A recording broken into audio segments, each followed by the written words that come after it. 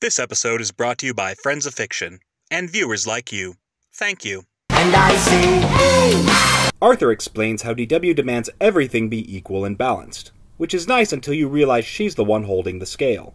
DW is using a playdate with Emily as an excuse to stroke her ego. She brags that all her toys are better. DW's pride is put in jeopardy when she discovers Emily has a French nanny. Instead of telling her mom why she's upset, DW comes up with a scheme to get a French nanny of her own. DW is having dinner with her family, and the brain, for some reason, when her parents tell her she's going to start getting allowance of 75 cents a week, which nowadays would be roughly $1.25. Not too shabby. DW plans to flex her cash to her friends, as she believes all relationships are monetarily transactional. However, she soon realizes her friends already get allowances and earn much more than she does. DW resolves to correct this problem by billing her parents for all the money she believes she deserves. The Read parents tell her to fuck off. DW decides to go the opposite route and become a total kiss ass. She does all the chores in the house, working herself sick and breaking half the dishes in the process. She tries to goad her mother into raising her allowance and fails miserably. DW pretends to be sick so she can stay home from preschool. She tries calling the mayor to demand everyone get paid the same amount of money, which actually isn't a terrible idea the more I think about it. DW pesters Arthur and his friends to find out how much their allowances are, which leads to the group having a fight that threatens to end their friendship for good. DW realizes she can just lie to her friends about how much money she has even though none of them actually give a shit. Mrs. Read tells DW she should be grateful for what she has and shouldn't be jealous of those who have more. The lesson goes right over DW's head as she struts into class acting like she's the Grand Fromage, which is French for pretentious bitch.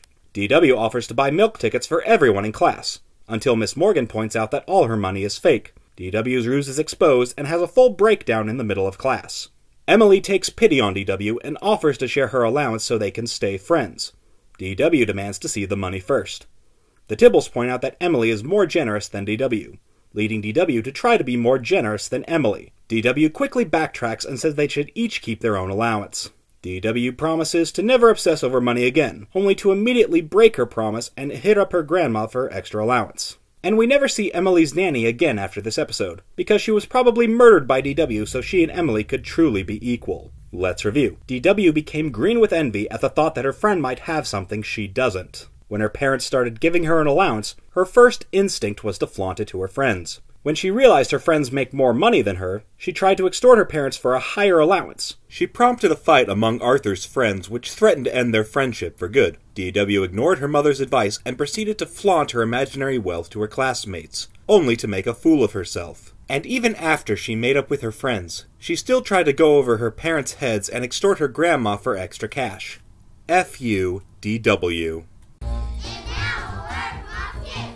This episode is brought to you by Friends of Fiction. Friends of Fiction is a student developed and produced sitcom for intermediate and advanced television production at Missouri State University.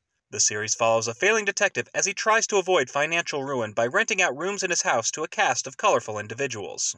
You can follow the series development by subscribing to Friends of Fiction on YouTube and donating to their crowdfunding campaign. And now, back to Arthur! And I say, hey, what a wonderful kind of day. If you could learn Next time on FUDW.